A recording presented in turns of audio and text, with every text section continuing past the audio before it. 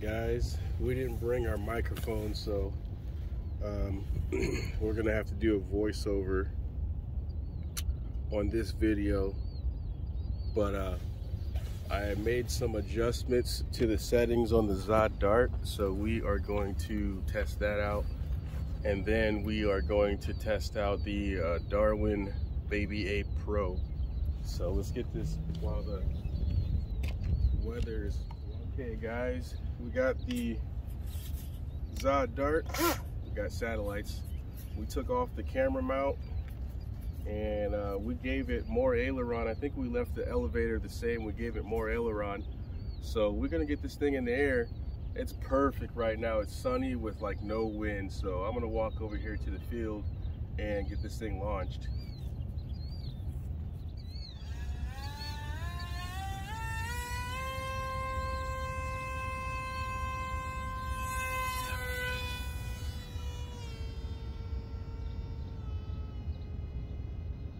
So look how easy it is to launch this now, now that we modified it.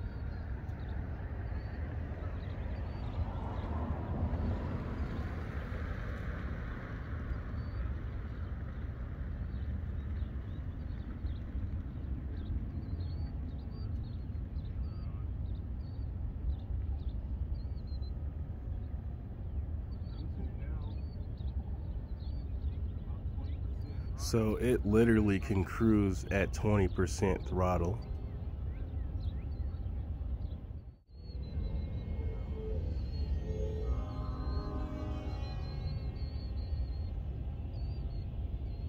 I will have to say that uh, giving it a little bit more throws on the aileron has really made this enjoyable. I mean, it's even more enjoyable now that you have more locked in turns.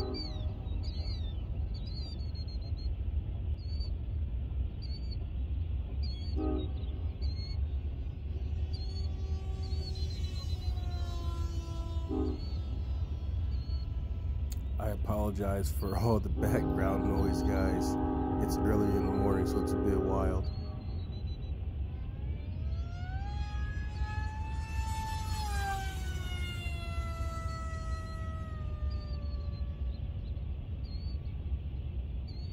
Definitely gets the heart pumping every time you go full throttle on this one.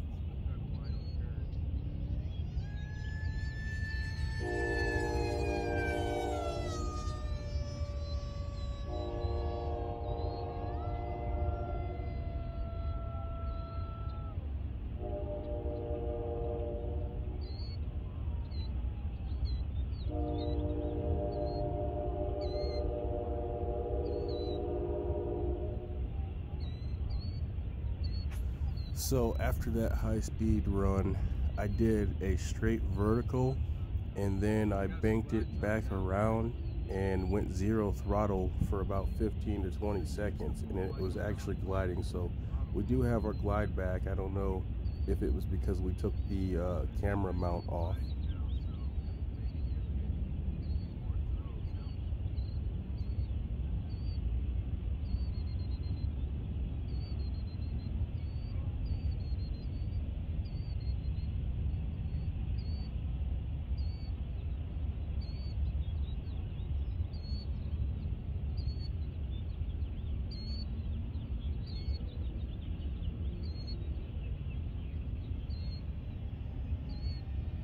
Now we're back on the throttle about 30% and just cruising it.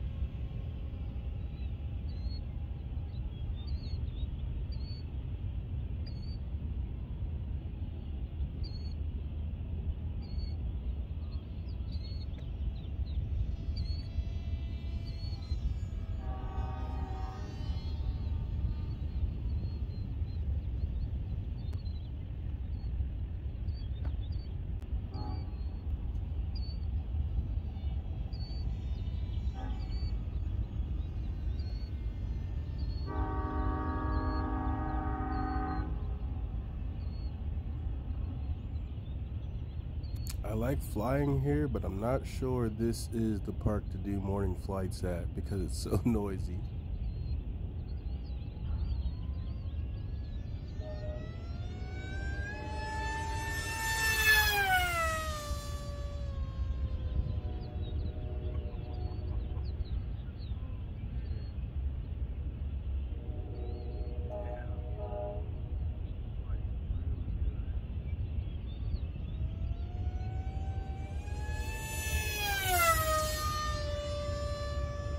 I know y'all seen how fast that zip passed.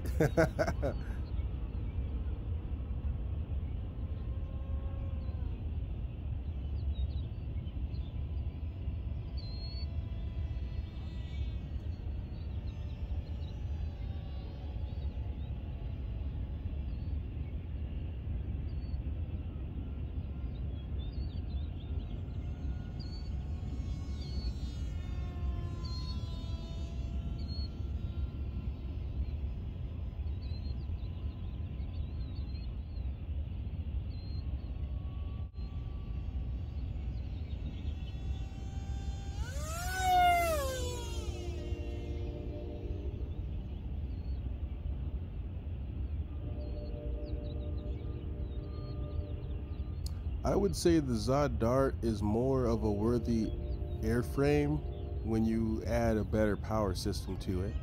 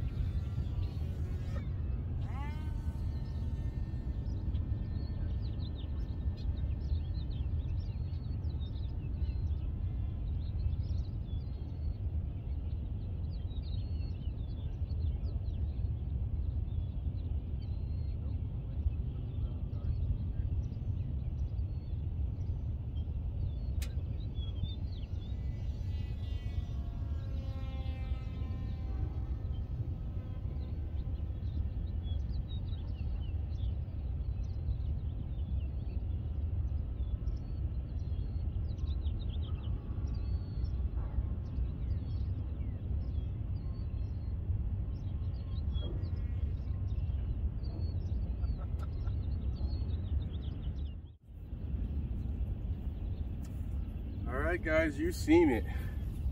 This thing is an absolute rocket on 6S, a joy to fly. Uh, 2306 motor, 1400 kV. There's no wind today, so there was no shakiness. This thing flew dialed, like locked in like a jet. So if you like jets, um, this, yeah, I would say if you like jets, then you'll like this. To me, it reminds me of flying my EDF jet, kind of that locked in. Uh, your turns are kind of wide. You let off the let off the throttle, get your sharp turn in, and then come back on the throttle. If you stay on the throttle, your turns are going to be really wide because of the power. So that's the one thing to get used to on this is you have to back off the throttle if you want to bank it in more. But other than that, having the fins out, um, same as the F-18 in my opinion, uh, or the AtomRC Dolphin. I mean, every plane you see, they have the fins out. So I don't, I've, I don't think I've ever flown them with the fins for, uh, pointing inwards. So I can't tell you how that flies. These are glued on, they're not removable. I glued the fins on and uh, I'm very happy with this. I mean, it's it's definitely ready for FPV. So we'll figure out how we're gonna do it. Either we're gonna do analog or we're gonna do digital. I mean, I would love to do digital, but let me show you this battery compartment. As you can see, if we did digital, we'd have to stick the, which we could, we could stick the VTX there and stick the camera up here on the, out of this hole. We could have the camera on the servo. That would be sick. So we could do digital that way, but there's no way we're getting digital in the nose because the battery has to go right here. And as you can see, this is this battery takes up the whole nose area. So I'm gonna go ahead and cut this, man. This is this is a, a win.